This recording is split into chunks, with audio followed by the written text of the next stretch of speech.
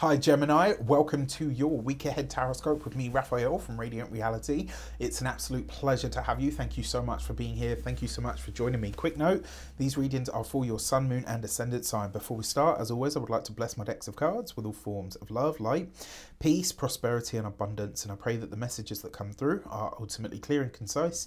They help you on your path to your highest vibrational good. So I apologize for the condensed format, but I wanted to get something out to you at least. Um, it's just it's a very busy week. I've got some other stuff happening behind the scenes as well. So it's uh, short and sharp this week. Your key to the week is the High Priestess. Hidden things will be revealed this week. And it is also a week where you are being urged to really trust your intuition, especially when it doesn't make sense. There might be something or some conversation that comes up this week where you're kind of like, Ugh.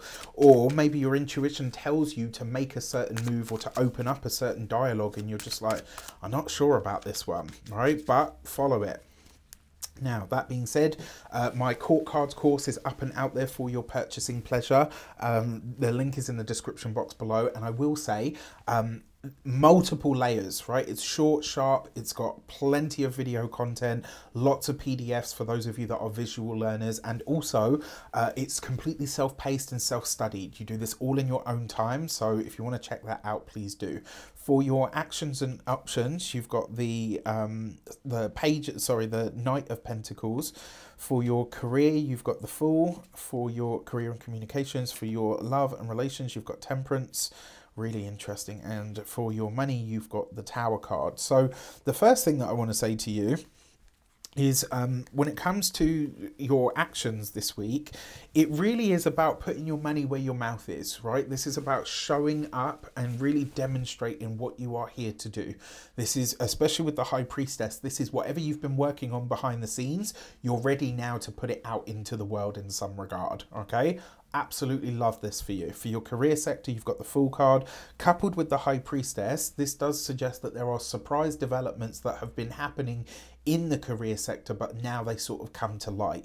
When it comes to those of you that are studying or in some form of academia, this could actually be a big shift or change in sensibility when it comes to the culture around what you're studying. So, the arena itself, when it comes to those of you that are employed by somebody else, there's a fresh start in the work, whether this is a change of jobs, which might be for some of you, uh, or it is uh, maybe even a change of management for, for others. I wouldn't be surprised if that were the case. For your uh, those of you that are retired and no longer working, this is you gearing up to go on an adventure, and I'm totally here for it. The Temperance card. So, for your love and relations, for those of you that are partnered, this with the High Priestess means that there's some kind of spiritual or even deeper healing that has been needed in the relationship, and it actually starts now. Um, this is a reconciliation of some sort, right? For those of you that are single and looking, I wouldn't be surprised if you are secretly reconnecting with somebody behind the scenes that you've already been in a bit of a tryst or a connection with. And maybe it's because you're both slightly different right now, or maybe it's just because you need the fun and the enjoyment of it and something to kind of shake up the routine. Now, when it comes to your money, I will say the Tower card for money does suggest a, a su surprise expense. And with the High Priestess here as well, this is potentially something that, like, you know, when a company company sends you a, a bill like and it's like really weird like dates and stuff and you're like like if you sent this back then like what like this could be a cock up on somebody else's sort of part and they're trying to charge you for it. And if that is the case don't have it. When it comes to your health you've got to watch out for your nervous system this week especially when it comes to your dream time. I'm not a doctor i can't give you medical advice but do check out magnesium glycinate fantastic for sleep. When it comes to those of you uh, sorry when it comes to your home and environment it's going to be an electrical of some sort. I'm really sorry to say but there's something that you might need to replace week, whether this is the TV, potentially it will be the washer dryer for some of you. And another way that this could show up is if you've got a tablet, I wouldn't be surprised if it's that.